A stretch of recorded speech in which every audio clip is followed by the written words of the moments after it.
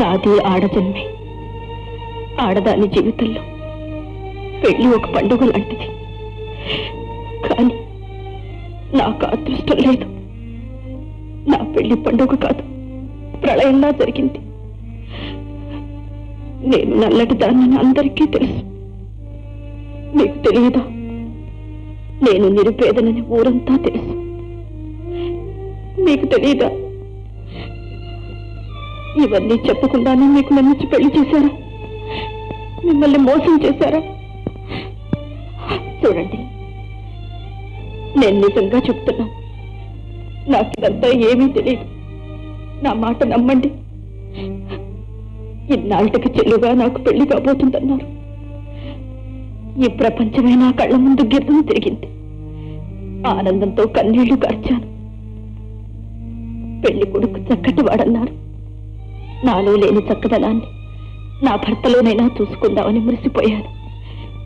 పెళ్ళి కొడుకు చదువుకున్నవాడన్నారు. తృప్తిగా నిట్టూరు పీడిచాను అత్తవారెంతో కలిగిన వారని చెప్పారు. ఈ పేదరాలకి అనుకోకుండా భగవంతుడింత అదృష్టం ఎందుకు ఇచ్చాడోనని భయపడ్డాను. పూచిన కొమ్మ మీదనే వాడిపోతుందనుకున్న పువ్వు మళ్ళీ వికసిస్తుంది అని సంబరపడ్డాను. కానీ బ్రతుకులో మొదటి మెట్టు దగ్గర ఎదురు దెబ్బ తగిలింది.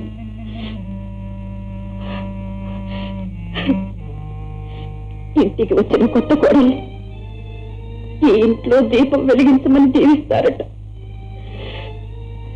నేను ఈ ఇంట్లో దీపం వెలిగించడానికే వచ్చాను.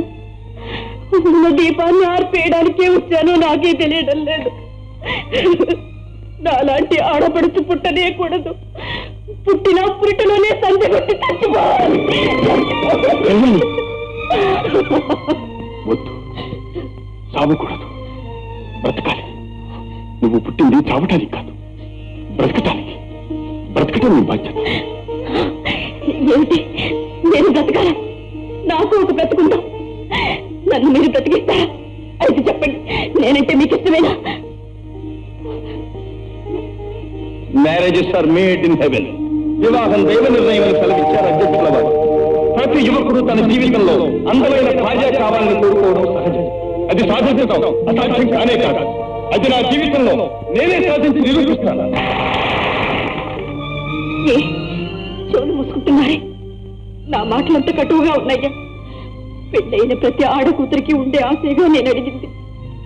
మరోలా అనుకోకండి. ఉండబట్టలేక అడుగుతున్నాను. నేనంటే మీకు ఇష్టమేనా? చెప్పండి. ఇష్టమేనా? నాకు ఇష్టమైంది నీ గుణం. మరి నేనంటే?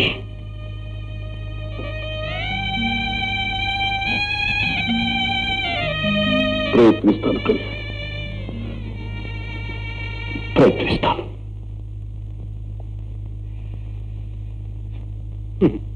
అయ్యవారిని చేయబోతే కూతే కూర్చుంది. అనుకున్నది ఒకటి జరిగింది ఒకటి. చూడు పెళ్ళి పప్పను ఈకల దాకా తొక్కి మొత్తం గుర్ర పెట్టి నిద్రపోతుంది. అదొక జాతకం. నేనే నిద్ర పట్టలా. నాకు అర్థం కాకపోయినా నీ వాగడంతా వింటూనే ఉన్నా. సరే కానీ తెల్లవారులు ఎవరు చదువుకుంటున్నా తనుగుడు కాదే దుఃఖం బాధ కష్టపడి చేసిన ప్లాన్ అంతా తలకిందులైంది అని శోకం ఏడు. లేకపోతే పిల్లలు మారుస్తున్నానని ముందుగా నాతో ఒక్క మాట చెప్పకూడదు? నీతోనా? రహస్యమా? నోరు అదే ఇంత ప్రతి ఆడపడుచు చెయ్యెత్తి దండం పెట్టదగిన పెద్ద ముత్తైదమ్మా ఆమె. మీలాగే ఆమె గారు కూడా పొద్దున్నే లేచి స్నానం చేసి జారు ముడేసుకుని ముఖానంత కుంకుమ బొట్టు పెట్టుకుని సూర్య నమస్కారాలు చేస్తూ సాక్షాత్తు లక్ష్మీదేవిలాగా దర్శనమిచ్చేది. కాళ్ళకు మెట్టెలు పెట్టుకుని కళ్ళు కళ్ళుమంటూ ఆమె గారి ఇంట్లో తిరుగుతూ ఉంటే కోటి వీణలు మోగుతున్నట్టుండే. మామగారు ముక్కోపా అట్టా అయిపోయారమ్మా. అదే పనిగా అమ్మగారిని తలుచుకుని తలుచుకుని ఆయన గారి ఆరోగ్యమే పాడైపోయింది. దేని చూసినా చీదరా చిరాకు.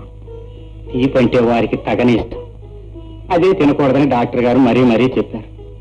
దాంతో వారికి ఒకటే నిస్పృహ. కాస్తకి కూస్తకి కసుబుస్సం అంటుంటారు. మొదట ఆయన అర్థం చేసుకోవటం కష్టం కానీ నిజానికి ఆయన మనసు వెన్నలాంటిదమ్మా.